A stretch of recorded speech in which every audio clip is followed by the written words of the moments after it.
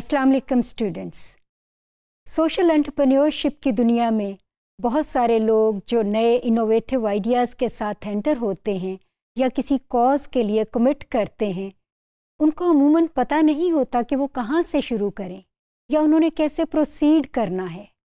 आज हमारे पास कामयाब सोशल एंटरप्रेन्योर्स की जो स्टोरीज़ हैं, अगर आप उनको गो थ्रू करें तो अंदाज़ा होता है कि it's a long list of frustrations failures repetitions बहुत सारे घपले और बहुत सारे प्रॉब्लम्स और बहुत सारे मसाइल हैं, जिनसे गुज़र के आज वो कामयाब सोशल एंटरप्रेन्योर बने हैं।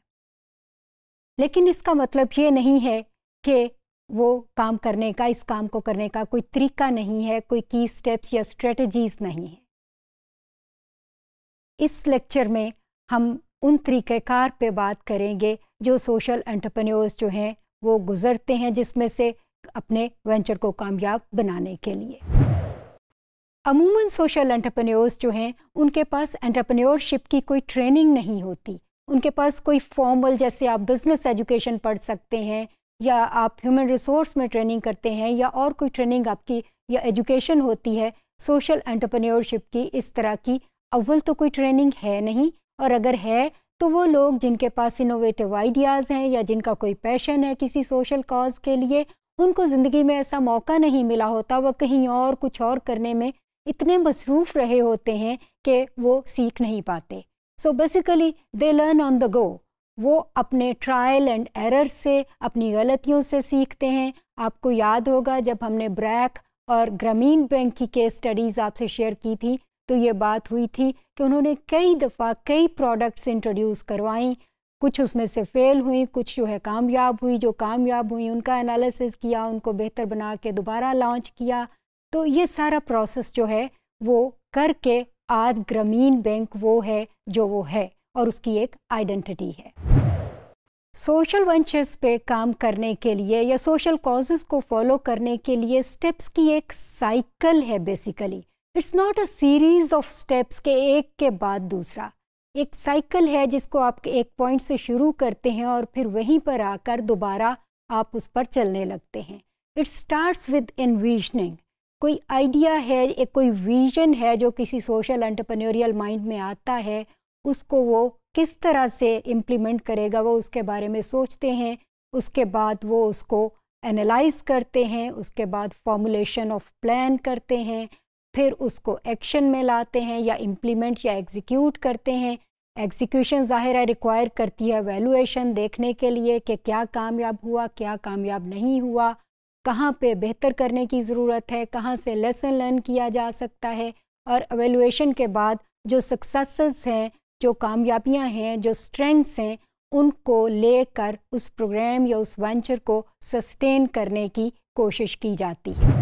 जो चीज़ें, जो आइडियाज़ अब इम्प्लीमेंटेशन में आके सस्टेन हो जाते हैं, वो कोई नीड को पूरा कर देते हैं तो फिर कोई नई नीड या तो इमर्ज हो जाती है, या कोई नया आइडिया या नई इनोवेशन आ जाती है, जिसके लिए फिर से इन्विजनिंग से सर्कल दोबारा स्टार्ट हो जाता है, या साइकिल जो है, वो दोबारा से स्टार्ट हो जाती है।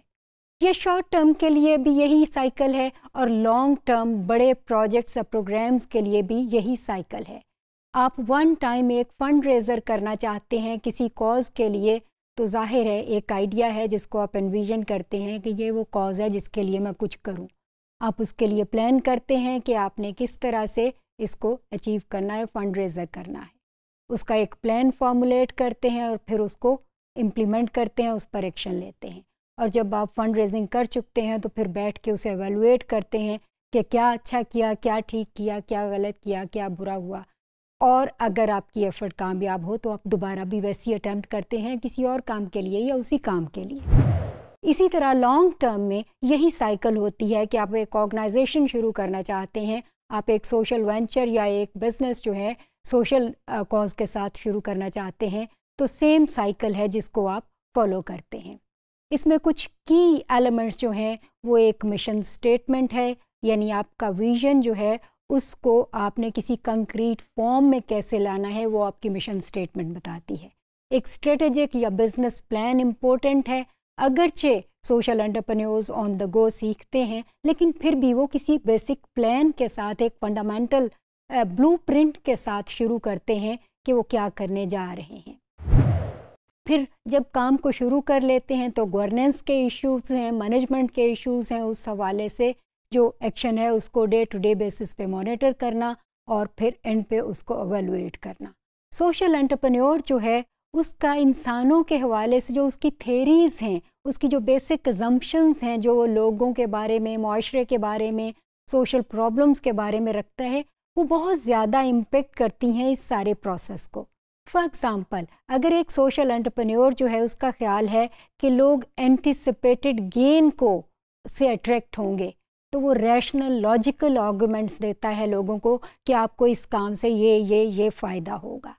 लेकिन अगर सोशल एंटरप्रेन्योर जो है, उसके ख्याल में लोग एंटिसिपेटेड लॉस या फेलुअर से डर के किसी काम को करते हैं या उसके तकलीफ़ से करते हैं तो फिर वो अमूमन इमोशनल अपील जो है, उससे डिज़ाइन करते हैं अपने प्रोडक्ट्स को, अपने सर्विसेज़ को।